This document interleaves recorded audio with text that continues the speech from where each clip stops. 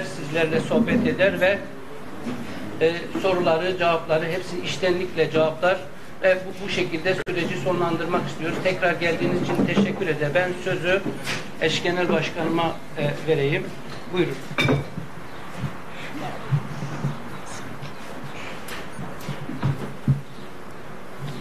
İyi mi?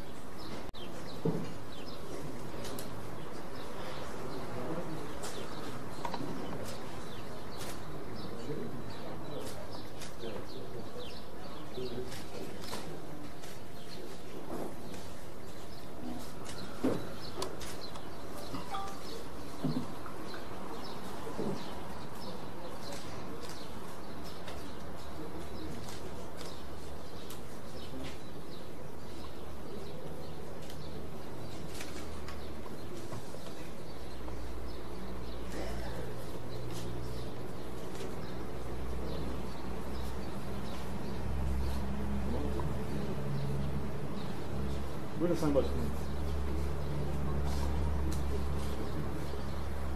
Değerli basın mensupları, sevgili arkadaşlar, ben de hepinizi sevgiyle, saygıyla selamlıyorum. Bugün Diyarbakır'da bir basın buluşmasıyla artık 28 Mayıs tarihinde yapılacak olan Cumhurbaşkanlığı seçimlerinin son çalışmalarını yürütmek üzere buradayız. Sizlerle bu buluşmadan sonra Diyarbakır'da esnaf gezisi yapacağız. Çeşitli kanaat önderlerinin ve sivil toplum örgütlerinin bulunduğu ortamlarda buluşmalar gerçekleştireceğiz. Ee, ve ikinci tur seçimlerinin artık son kavşağında olduğumuzu bilerek e, bu çalışmalarımızı tamamlamaya çalışacağız.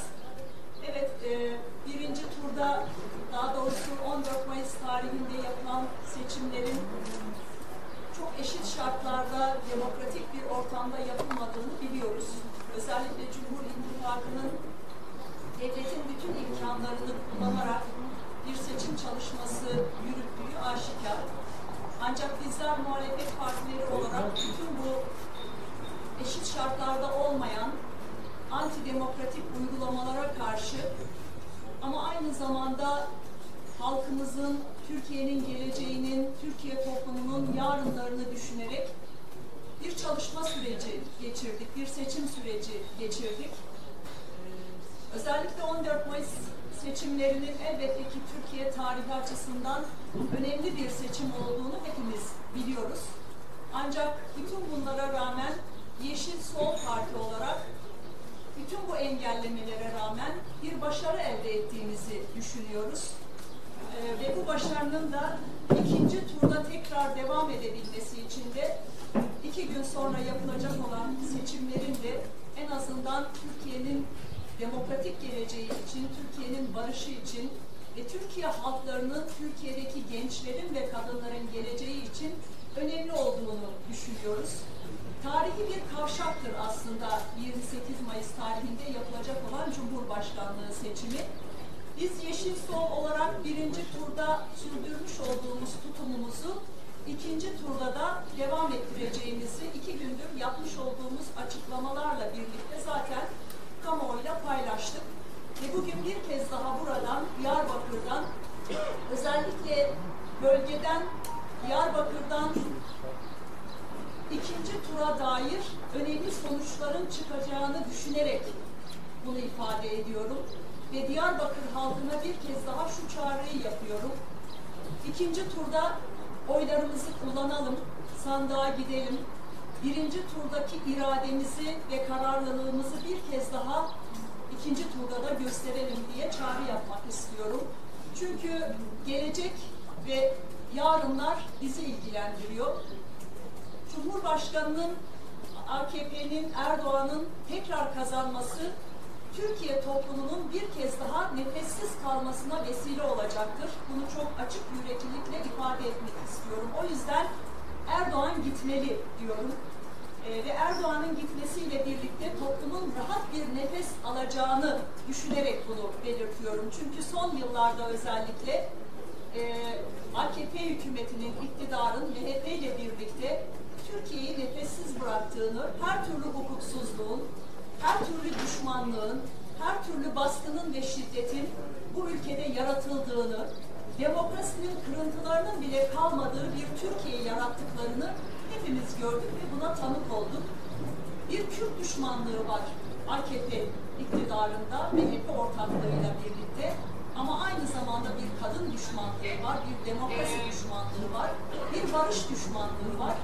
Bütün bunların bitmesi için Türkiye'nin rahat bir nefes alabilmesi için ve ikinci turda Erdoğan'ın kaybetmesiyle birlikte bu ifade ettiğimiz bütün meselelerin rahatlıkla çözülebileceği, demokratik adımların atılabileceği, Türkiye'nin barışa ve huzura ama aynı zamanda refaha kavuşabileceği bir ortamı yaratabilmek elbette ki bu seçimlere bağlı. O yüzden ben Erdoğan'ın gitmesiyle hem Erdoğan'ı göndermemizle birlikte demokratik yolların da açılabileceğine olan inancımı çok açık yüreklilikle de ifade etmek istiyorum. Ee, Erdoğan'ın tekrar kazanmasının ve çıkaracağı fermanların Türkiye tarihi açısından bir felaket olacağının da altını bir kez daha önemli çizmek istiyorum. Erdoğan tekrar kazanırsa ne olur? Elbette ki bunu tek tek sıralamaya gerek yok. Son yıllarda yaşadıklarımız bunun açık göstergesi. Bizler yine direniriz, bizler yine mücadele ederiz ama toplum nefessiz kalır. Bizi en çok endişelendiren de bu.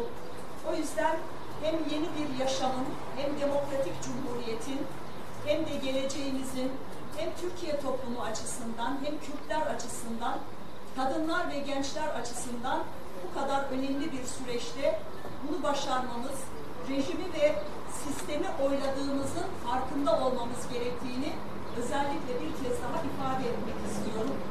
Bizler eğer ikinci turda kazanabilirsek demokrasinin inşasını gerçekleştirmiş olacağız. O yüzden bu kadar önemli ve tarihi bir seçim olacaktır. Dolayısıyla e, en azından bu ikinci tura faşizmle demokrasi arasında bir referandum seçimi olduğunu da görerek hareket etmemiz gerektiğinin altını da çizmek istiyorum. Türkiye toplumu önemli bir karar verecek ve önemli bir tercih yapacak aslında. Ya karanlıkla aydınlık arasında bir tercih yapıp aydınlığı seçecek, demokrasi ile faşizm arasında bir tercih yapıp demokrasiyi seçecek ki Türkiye en azından önümüzdeki süreç açısından, önümüzdeki günler ve dönemler açısından demokratikleşme alanında, barış alanında ve Türkiye'nin huzuru ve refahı anlamında bir başarı elde edebilsin. Bir kez daha ifade etmek istiyorum. Bu seçim gerçekten tarihi bir seçim olacak ve Türkiye'nin kaderini değiştirecek olan bir seçim olacak. Ben başta Diyarbakır halkı olmak üzere bütün Türkiye halklarına, başta Kürtlere, Türkiye toplumuna, herkese bir çağrıyı buradan bir kez daha ifade etmek istiyorum. Türkiye'nin kaderini değiştirmek bizlerin elinde ve bir kez daha 28 Mayıs tarihinde sandıklara giderek oyumuzu kullanarak bu değişim ve dönüşüme bir kez daha katkı sunarak geleceğimizi oylayarak ve yarınlarımızı belirleyerek bu seçime böyle yaklaşmak durumundayız. Herkese kolay gelsin diyorum. Herkese başarılar diliyorum. Umut ediyor ve biliyorum ki 28 Mayıs tarihinde istediğimiz sonucu elde edeceğiz. Mesele elbette ki Millet İttifakı değildir. Mesele Sayın Kılıçdaroğlu da değildir. Biz meseleye sadece ve sadece Türkiye'nin geleceği olarak bakıyoruz ve oyumuzu da Türkiye'nin geleceğine kullanıyoruz. Böyle bakıyoruz bu meseleye. Dolayısıyla da ben Türkiye halklarına, Türkiye toplumuna bir kez daha sandığa sahip çıkma, oylarına sahip çıkma ve oylarını kullanma çağrısını buradan yinelemek istiyorum ve teşekkür ediyorum.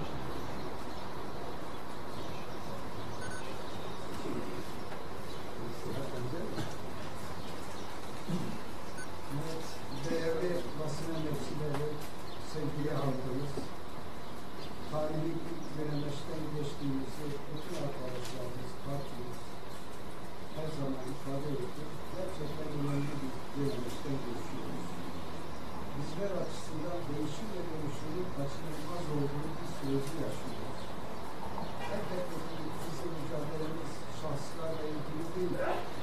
Türk halkının geleceği, demokrasi inanmalarının geleceği ve e, demokrasi bir gelecek için mücadele ediyoruz. Seçimimizi ona göre yapıyoruz. Tabii ki son dönemde milliyetçi çalgı tartışmalar ister istemez halkımızda bir tedirginlik olarak onun farkındayız. Ve buradan özellikle halkımıza, gençlerimize e, şu mesajı vermek istiyorum. Sakın oyuna gelmeyin. Protesto etmeniz sandık başına gitmeniz durumunda Erdoğan'ın ve iktidarın su taşımış olacaksınız. Bu bilinçle aslında hareket etmeniz lazım. Evet, önümüzde iki seçenek var. Biraz önce Sayın Başbakan Başkanımızın ifade ettiği gibi ırkçılığı, faşizmi, totaliter bir rejimi, ırkçı bir anlayışı Türkiye'de egemek kılmak isteyen bir anlayış. Ama bunun karşısında en azından halkımızın nefes alabileceği demokratik bir ortam güven veren ve hukukun üstünlüğünü esas alan farklı bir var. Biz bu iki seçenekten birini tercih etmek zorundayız. Elbette bizim tercihimiz demokrasiden yana olacak, insan haklarından yana olacak. Türk halkının özgür geleceğini belirleme konusundaki mücadelemizin yanında olacak. Bu mücadeleyi ya şahslar için yapıyoruz, ya farklı isimler için yapıyoruz. Bu mücadeleyi yıllardan beri sürdürdüğümüz mücadele demokratik bir gelecek için, halkların ortak demokratik değerlerde buluşması için, halkımızın özgürlüğe ve demokrasiye kavuşması için mücadele ediyoruz. İşte önümüzde bu iki seçenekler birini tercih etmek zorunluluğuyla karşı karşıyayız. Bunun bilinciyle hareket etmemiz lazım. Tabii ki bugüne kadar bütün arkadaşlarımız, genel genel başkanlarımız, arkadaşlarımız, mitinglerde, konuşmalarında, yaptıkları toplantılarda her türlü değerlendirmeyi halkımızın önüne sunuyoruz.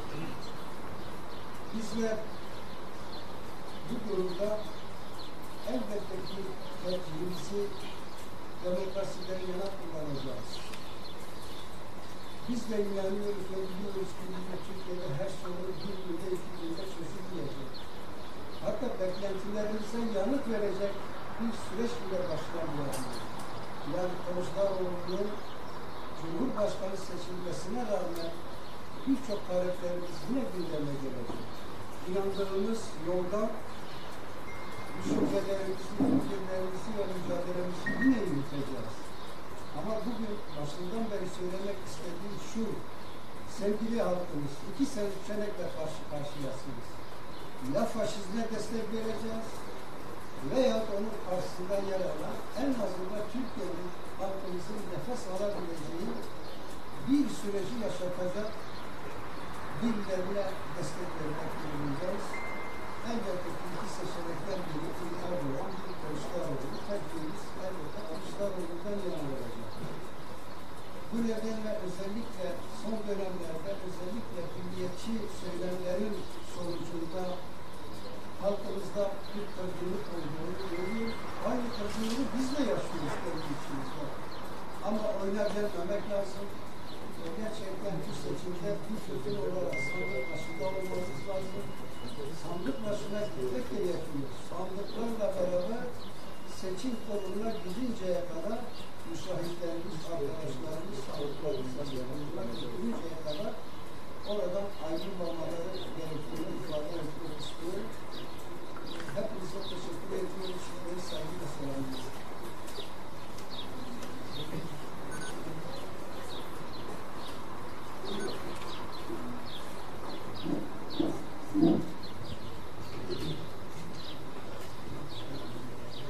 Evet arkadaşlar, bundan sonraki e, işleyişimiz sorularınızı almak, sizinle sohbet etmek, temelde bir e, gündemimiz olacak.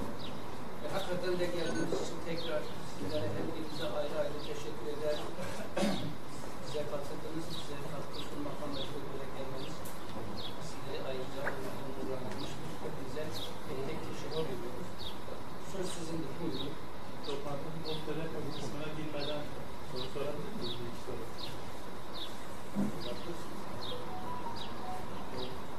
Ergin Hanım ben size sormak istiyorum. Özellikle 14 Mayıs seçim sonucuyla birlikte Türkiye'de milliyetçi dalganın %25 oranında yükseldiği e, gibi bir sonuç çıktı ortaya. Ve bu şunu, bunu daha çok şuna yönelik olarak değerlendiriyorlar. HDP ve Kürt seçmeninin Kılıçdaroğlu'nu desteklemesiyle Türkiye'deki bir milliyetçilik dalga ortladığı %25 oranında vardı. Buna katılıyor musunuz? Birinci sorun bu. İkinci soru da e, HDP'ye yönelik yapılan eleştirilere baktığımızda işte HDP keşke birinci turda adayını gösterseydi. Gerçi geçti bitti artık o konuyla.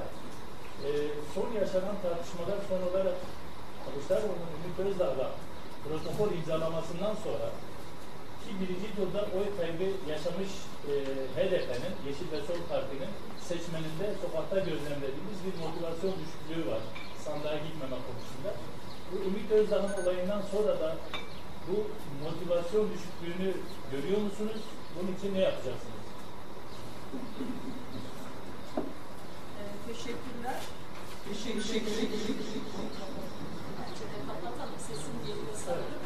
Ya evet bir milliyetçi dalga var. Ee, siz de ifade ettiniz. Ahmet abi de biraz önce zaten konuşmasında e, söyledi. Ancak bu milliyetçi e, dalganın Türkiye'nin geleceğini belirleme konusunda çok etkili olacağını düşünmüyorum aslında. Yani parti olarak öyle bir düşünceye sahip değiliz. E, sonuçta biz e, öyle bir ki her türlü ırkçı saldırılar karşısında, her türlü faşizm karşısında, her türlü engellemeler karşısında direnen bir gelenekten geliyoruz. O yüzden bu milliyetçi dalganın bu kadar son zamanlarda köpürtülmesi elbette ki seçimlere etkisiyle alakalı e, olarak ifade edilebilir. E, seçimlere nasıl etki edeceği üzerinde belki biraz durmak gerekiyor. Her iki tarafta da yani hem Cumhur İttifakı'nda hem e, Millet İttifakı'nda e, ırkçı dalgayı körükleyecek isimler var. E, dolayısıyla ben e, hani azından bu isimlere takılmadan, bu isimlerin yaptıkları açıklamalara takılmadan e, kendi geleneğimizin, kendi mücadelemizin e, ve Türkiye toplumunun geleceği açısından demokratikleşmenin ne kadar önemli olduğunu bilerek hareket etmemiz gerektiğini düşünüyorum. E, ve ikinci turdan sonra elbette ki demokrasi mücadelesi kim kazanırsa kazansın yine devam edecek. E, ve biz bu mücadeleden asla taviz vermeyeceğiz. Türkiye demokratik bir ortama kavuşana kadar bu böyle olacak, bu böyle sürecek.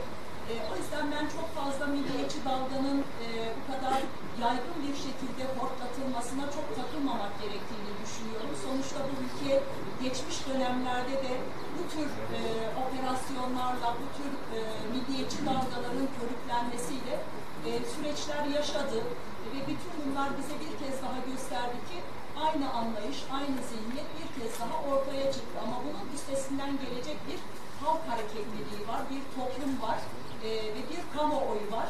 E, ben bunun da üzerinden ve üstesinden gelebileceğimizi, çok rahatlıkla bunu atlatabileceğimizi e, ifade etmek istiyorum. Diğer ikinci e, sorunuz, e, evet bir kırgınlık, bir motivasyon düşüklüğü var. E, Türkiye toplumunun hepsinde var. Bu sadece Kürtler açısından ifade edilmemeli bence.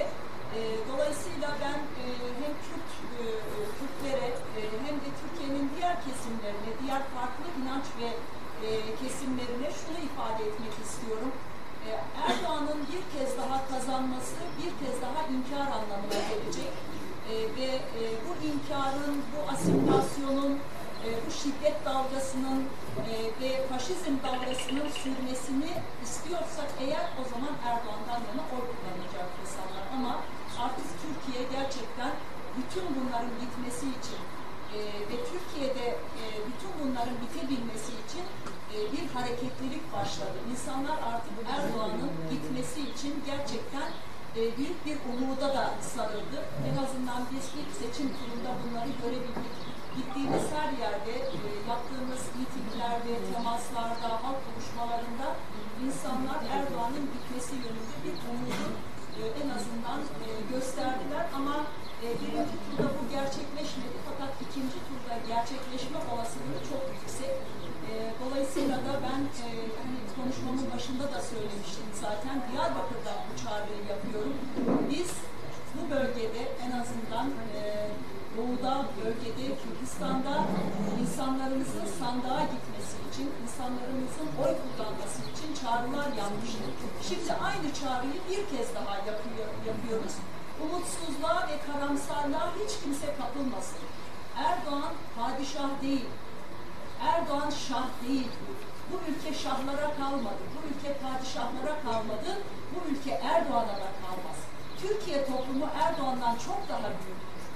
Türkiye halkları Erdoğan'dan çok daha büyüktür. O yüzden gönderme gücümüz var. Onu yenme gücümüz var. Bunu bir kez daha sandıklarda gösterebiliriz. Ve karamsarlığın ve umutsuzluğun bize hiçbir faydasının olmayacağını özellikle belirtmek istiyorum. Benim üç tane sorum sorumu şu şekilde sağlamak istiyorum. Siz Diyarbakır seçimleri için 12-0 diye talepte bulunmuştunuz ama sonuç beklediğiniz gibi olmadı. Bunu nasıl değerlendiriyorsunuz? Birinci sorumu. İkinci soru biz Rabı TV olarak vatandaşlara yaklaşık bir aydır her gün soru soruyoruz. En çok da sorduğumuz tabii ki seçimler ve seçimin tabii ki sonuçlarını soruyoruz. Vatandaşlar yani HDP ve YSP'ye yaptığı en büyük eleştiri şu yönde geliyor. Bizi dinlemiyorlar. Yani hiçbir şekilde bizi dinlemiyorlar ve bir tepki gösterdik diye vatandaşın e, görüşlerini istiyoruz bize. Üçüncü soru şu, bölgede, bölgedeki oy kaybını neye bağlıyorsunuz? Yani 7 Haziran'dan sonraki süreçte baskı politikası var ama ekonomik kriz, e, işte kutuplaşmalar ve iç e, bir çeşit iç bloklaşma, Türkiye'deki bloklaşma aslında rüzgarları sizden yana, HDP'den yana kılarken düşüşü neye bağlıyorsunuz? Ee, Ben şunu söyleyeyim, biz bölgede çok fazla oy kaybetmedik. Ee, Bölgede fazla oy düşüşü yok. Ee, Hani Diyarbakır açısından ifade etmiyorum, genel bölge açısından e, söylüyorum. Aslında Kürtler oylarını korudu, HDP oylarını korudu. Belki bir düşüş batıda e, yaşandı, yani daha fazla batıda bir düşüş var. Elbette ki biz e, 14 Mayıs seçimlerinin sonuçlarını her yönüyle masaya yatırıp tartışacağız nerede eksik yaptığımızı, nerede hata yaptığımızı, nerede yanlış yaptığımızı bütün yönleriyle tartışıp kendimizi sorgulayacağız. Kimin hatası varsa, kim nerede eksik yapmışsa, kim nerede hata yapmışsa elbette ki bu sorumluluğu üstlenip gerekli, ne gerekiyorsa onu yapma kararlılığını da hep birlikte göstereceğiz. Bu biz, başta bizim sorumluluğumuz elbette ki. Eş başkanların sorumluluğu ve partinin içerisinde olduğu bir sorumluluk var elbette. Dolayısıyla biz bütün bu sonuçları her türlü detaylarını, her türlü ayrıntılarını, nerede hata yapılmışsa, nerede eksiklik varsa, nerede yanlış yapılmışsa bütün bunlar masaya yatırılacak. Bölgede bir oy düşüşü mü var? Bu oy düşüşünün sebepleri nelerdir? E, bunda kimin hatası var? Bunları da sorgulayacağız elbette ki. Henüz o aşamaya geçmedik. İkinci tur seçimlerinden sonra bir dizi toplantılarımızı yapıp bütün bunları masaya yatıracağız tabii ki. Diyarbakır açısından şunu söyleyeyim. Evet, herkesin hedefi, bütün partilerin hedefi e, gittikleri yerlerde, işte e, bulundukları kentlerde yaptıkları çağrıları herkes kendi açısından öyle değerlendirir ve biz de Diyarbakır'da 12-0 yapmayı hedeflemiştik elbette ki. Ancak şartlar, koşullar bu dönem açısından buna elverişli değilmiş demek ki. Ee, o yüzden de ben e, Diyarbakır halkının yine de iradesine sahip çıktığını, her türlü baskıya rağmen, her türlü engellemeye rağmen, uzun yıllardır Diyarbakır üzerinde oynanan bütün oyunlara rağmen kendi iradesine çok rahatlıkla sahip çıktığını ifade etmek istiyorum. Yerel seçimlerde yaşananlar belediyelerimize kayyumların atanması, milletvekili arkadaşlarımızın tutuklanıp cezaevine gönderilmesi, Diyarbakır halkının iradesinin gasp edilmesi, bütün bunlar aslında e, Diyarbakır halkının bu seçimde bir kez daha bunlara rağmen kendi ira- iradesine sahip çıktığını ve rahatlıkla da oy kullandığını ifade etmek istiyorum. O yüzden ben bölgedeki oy kayıpları başta olmak üzere, Diyarbakır başta olmak üzere e, ve yine batıda kaybettiğimiz oyların sebeplerini, nedenlerini her türlü araştıracağımızı ve bunun sorumluluğu kimdeyse gerekenin yapılacağını da en azından sizin huzurunuzda ifade istiyorum. Kısa bir sorunsal eklemek için. Sonrasında Sonrasında isim olacak mı acaba? Herhalde hiç demokratik olarak. Tamam, lütfen. Evet, lütfen. Tamam, lütfen. Önce ben sınıf vereyim. Ee, Millet İttifakı'nın e, Sayın Hocam, Millet İttifakı'nın Cumhurbaşkanı adayı Kemal Kılıçdaroğlu, Zafer Partisi Genel Başkanı'yla e, bir araya geldi ve bir protokol açıkladı. Hemen ardından HDP ve Yeşil Sol Merkez Hükümet Kurulları olarak bir e, olağanüstü bir toplantı yaptınız. Orada ortak bir açıklama var, şöyle bir ifade var. 28 Mayıs seçimleri sonrası için oynanan oyunların ve kurulan tuzakların farkındayız. Kim oynuyor ve nasıl bir tuzaktan bahsediyorsunuz? Bu, bu buluşmanın hemen ardından böyle bir açıklama yaptığınız zaman Millet İttifakı'nı kastediyorsunuz. Kimleri oyun oynayanlar? Kim? Milliyetçi dalga dediğimiz mesele aslında budur. Ee, Ben Ümit Özdağ'ın da e, Sinan Oğan'ın da iki ittifak arasında e, ve iki, iki ittifak içerisine girerek birçok oyunu bozmak adına böyle bir hamle gerçekleştirdiklerini ifade etmek istiyorum. O yüzden biz Ümit Özdağ'ın ne dediğine bakmıyoruz. Ümit Özdağ'ın ırkçı ve faşist söylemlerine asla takılmıyoruz. Bizim için esas olan Sayın Kılıçdaroğlu'nun topluma vermiş olduğu sözlerdir. Sayın Kılıçdaroğlu'nun daha önce yapmış olduğu açıklamalardır. İkinci turda kazanabilmek için Ümit Özdağ'la bir protokol imzalamış olabilirler ama bizim için esas olan biraz önce de ifade ettiğim gibi e, Sayın Kılıçdaroğlu'nun daha önce topluma yapmış olduğu açıklamalar, vermiş olduğu sözler hem kayyum meselesiyle ilgili hem Kürt sorununun demokratik yöntemlerle çözümüne dair söylemleri hem de Türkiye'nin geleceği açısından demokratikleşme yönünde atılacak olan adımlara dair söylemleridir.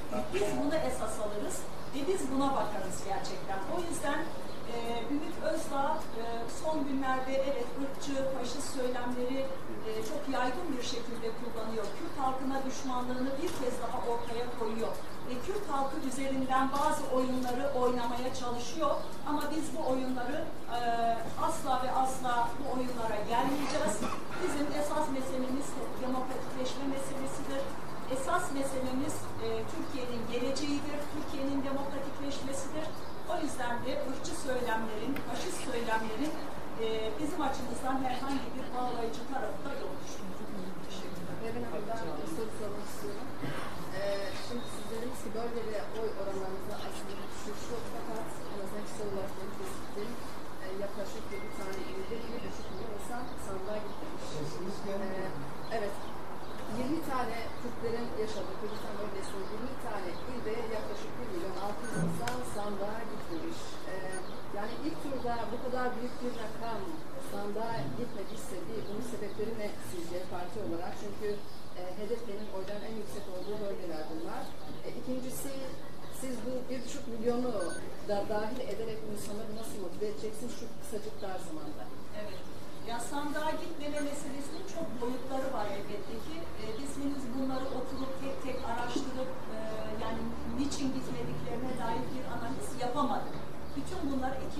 turdan sonra zaten yapacağız. Arkadaşlarımız bütün bunların hazırlıklarını yapıyorlar. Ee, bir buçuk milyon oy elbette ki çok fazla sandığa gitmeme açısından ama bunun çok çeşitli sebeplerin olduğunu düşünüyoruz mevsim koşullarının işçi olarak e, il dışına giden çalışan insanların işte e, köyünde e, mera yapanların ya da yaylaya gidenlerin e, bütün bunların var olduğunu ama aynı zamanda başka sebeplerinde mutlaka olduğunu biliyoruz ve bütün bunları analiz edecek zamanlarımız olacak. E, bu bir buçuk milyon oyu ya da insanı tekrar sandığa götür, göndermenin ya da götürmenin elbette ki e, bizim açımızdan zor olduğunu da biliyoruz ama bütün bunlara rağmen son birkaç e, haftadır yani ikinci e, tura girerken hemen bu çalışmaları zaten başından beri başlattık. Yani hem iki eş başkan, partinin bütün kurulları, il örgütlerimiz, ilçe örgütlerimiz bu çalışmaları yapıyorlar. İnsanlara tek tek gidip sandığa gitmelerinin önemini, oy kullanmalarının önemini ifade ediyorlar ve bu çalışmaları yürütüyorlar.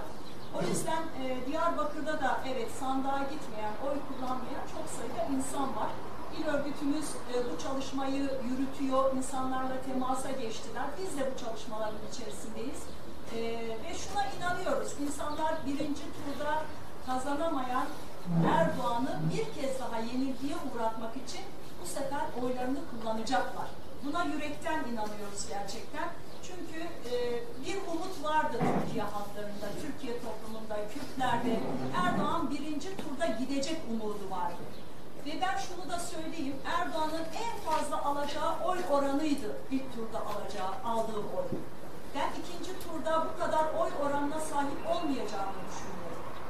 Çünkü insanlar bu umudu, Erdoğan'ın gitme umudunu e, bir seferde göremediler ama ikinci turda en azından bunu yaşayabilmek, bunu görebilmek açısından da sandıklara gidecekler ve oylarını kullanacaklar. Biz de bunun için halkımıza hem moral vermek hem de motivasyonu sağlamak adına sahadayız, alandayız, çalışmalarımızı yürütüyoruz. Son iki günü de böyle değerlendireceğiz.